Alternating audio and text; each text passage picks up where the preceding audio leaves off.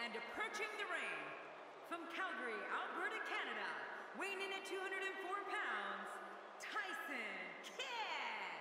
Ah, this match is going to be exciting. I can almost guarantee it. We're finally going to see which one of these two is the superior competitor.